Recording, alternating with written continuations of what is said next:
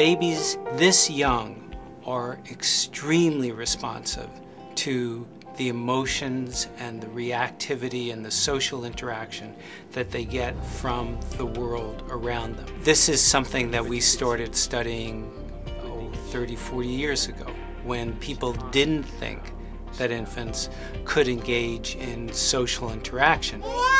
In the still face experiment, what the mother did was she sits down and she's playing with her baby who's about a year of age. Make a girl. Oh. And she gives a greeting to the baby, the baby gives a greeting back to her. Yeah. This baby starts pointing at different places in the world, and the mother's trying to engage her and play with her.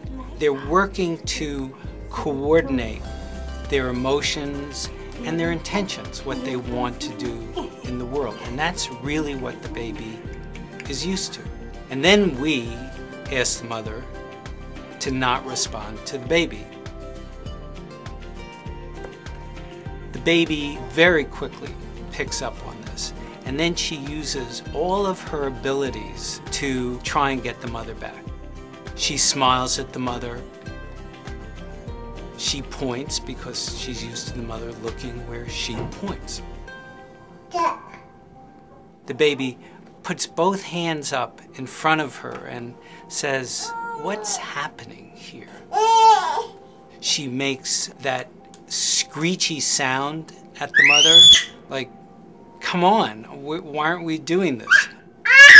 Even in this two minutes, when they don't get the normal reaction, they react with negative emotions, they turn away, they feel the stress of it. They actually may lose control of their posture because of the stress that they're experiencing.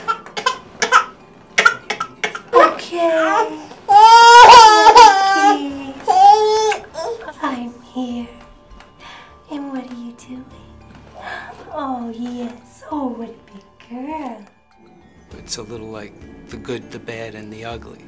The good is that normal stuff that goes on that we all do with our kids. The bad is when something bad happens, but the infant can overcome it. After all, when you stop the still face, the mother and the baby start to play again. The ugly is when you don't give the child any chance to get back to the good. There's no reparation, and they're stuck in that really ugly situation.